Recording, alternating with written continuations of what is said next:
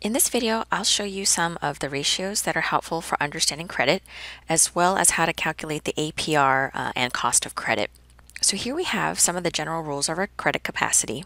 Recall that you learned about the debt payments to income ratio in your LearnSmart chapter. So in this formula, we take our monthly debt payments and we will divide it by our net monthly income. So this is the uh, income you take home. Note that the consumer credit payments should not exceed 20% of your income, and that does not include your house payment, which is considered a long term liability. Uh, in other words, most house payments are on a mortgage of, let's say, 15 to 30 years. Now, the other ratio you should be aware of is the debt to equity ratio, and that's going to compare how much debt you have to your net worth. So that's why in the formula here you see you'll take your total liabilities and divide it by your net worth. Again, uh, note that the net worth excludes your home value, and your ratio should be less than 1. Suppose Sam's monthly debt payments, not including his mortgage, are $825. His monthly net income is $2,425. He has total liabilities of 9400 and his net worth, not including his home, is 24750 So to calculate the debt payments to income ratio, so we'll take our monthly debt payments of 825 and divide it by our net monthly income of 2425. That should give us 34%. For our debt to equity ratio, we'll take the 9400, which is our total liabilities, and we'll divide that by our net worth of 24,750, and that'll give us 38%. So recall, your debt to equity ratio should be less than 1. If your debt roughly equals your net worth, or 1, then you've probably reached the upper limit of your debt obligations. So this 38% here, when we write it as a decimal, it's 0.38, which is less than 1. Now for the cost of credit. So with a finance charge, this is the total dollar amount you pay to use credit. It'll include interest costs and sometimes other costs like service charges, insurance premiums, or appraisal fees.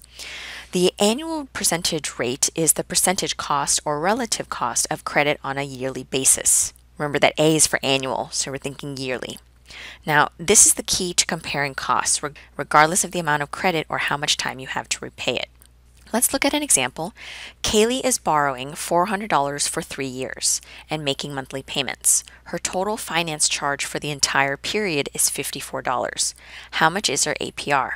So here is the formula for the APR, where R represents the approximate annual percentage rate or APR. And then here's our formula right here. Uh, we do 2 times N, which is the number of payment periods in a year, times I, which is the total dollar cost of credit or the interest amount. And then we'll divide it by the principal times the total number of payments plus 1. So when I plug in our numbers, here's my 2, times 12, because we're doing monthly payments, times the $54, which is the finance charge or the interest amount paid, or the cost of credit. So multiple terms for the same number. And then uh, in our denominator, our principal was the original $400 borrowed. And since we are doing monthly payments over three years, we get 36. We're taking 3 times 12. So we take 36 plus the 1 from our formula. And when I plug all of this into my calculator, you should get 8.76% as the APR. So the most common method of calculating interest is the simple interest formula. Other methods, such as the simple interest on declining balance and add-on interest, are variations of this formula. So the simple interest is computed on principal only without compounding. It's the dollar cost of borrowing, and here's our formula. Interest equals our principal times the interest rate times time. When we're doing the simple interest on the declining balance, interest is only paid on how much is left of the principal. And then the add-on interest is where interest is calculated on the full amount of principal. Thus, our payment equals the total amount divided by the number of payments to be made. For an add-on interest, if you pay off the loan in one payment, it produces the same annual percentage rate as a simple interest method. However, if you pay in installments, your actual rate of interest will be higher than the stated rate. Interest rates on this type of loan do not decrease as the loan is repaid. So the longer you take to repay that loan, the more interest you'll pay. Let's look at an example. Suppose Scott needs to borrow $6,000. He has the choice of two loans. The first loan charges 6% simple interest with one repayment at the end of three years. The second loan charges 6% simple interest on the declining balance with annual payments. So for our first loan, the simple interest, you can see here we only have a single payment. So there's no payment one or two. There's just a single payment at the end of year three. Uh, and it's at $7,080. Now recall that our principal borrowed was 6000 and our total interest paid then is 1080 and here's our APR. So let's see how it's actually calculated over here on the right. So for our total interest formula, that's the principal times the rate times time. So it takes 6,000 times our 6% or 0.06 times 3 because we're doing 3 years. That gives us the 1,080 right there, our total interest paid. Now to get the APR, we'll plug in our numbers uh, into the formula. Uh, so here's our 2 from the formula. Note that our n, this is the number of payment periods in a year. However, we're not paying each year, we're paying once in three years. That's why you see this as 1 over 3. So one payment over three years. And then our interest amount of 1080 is right here. Our principal was 6000 and our big N, which is the total number of payments. We only have one, so that's why we plug the one here and we add one. And when I plug this into my calculator, I get 5.99% for my APR. Let's look at the second loan. This is the simple interest on declining balance. So you can see that there are three payments uh, at different amounts for first, second, and third. And here's our total for all our payments. In, in the end, we'll pay 6720 Here's our principal borrowed, and so we can see that our total interest paid is uh, 720. But how did we calculate this? So for our first payment, we take the uh, original principal, which is 6,000, and since we're doing three payments, I'm going to take that principal and divide it by three. The intention is that with each payment, we're paying 2,000 of the principal. So this is 2,000 right here in parentheses, and over here we're going to add uh, the product of these two numbers. So here's my 6% interest, and here's my principal at the time of my first payment. So um, remember PEMDAS, order of operations, we'll multiply this first and then add uh, the payment amount. So that's where we get the 2,360. In other words, 2,000 went to principal and 360 went to the interest in that first payment.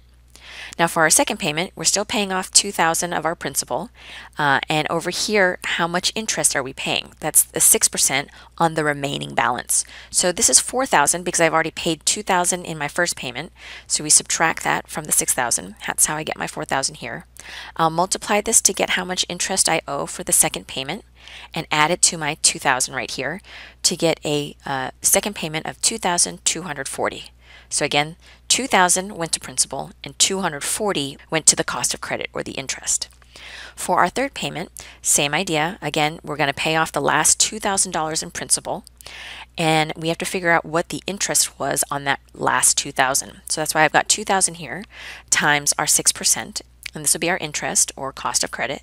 And so when I take our interest and I add it to the 2000, my final payment is $2,120.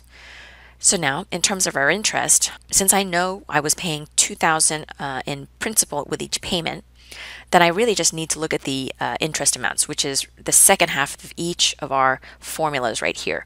So that's the th 360, 240, and 120, and that gives us 720 for our total interest. Now that I know my I, I can go ahead and plug that into my formula. So 2, uh, 1 payment per year, that's my little n, uh, our interest amount of 720, and then our principal was 6,000. Our big N is how many total payments. There were three, plus one. And when I plug all that into my calculator, I get an APR of 6%. So in this week's module, I also provide uh, an Excel workbook with some helpful tools to help you keep track of your consumer credit. So for instance, when we look at the spreadsheet, it's also a good checklist to see what kinds of debt that you have.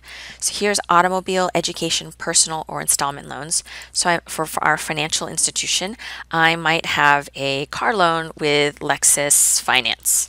And so um, I've got my account number I'll put in there. Let's say I owe 10,000 on my car and the monthly payment on that is $500. So I'll list all those so I can keep track. And if we scroll down, uh, there's also a place for charge accounts and credit cards. And uh, further down, we have other loans, uh, home equity, life insurance, and such.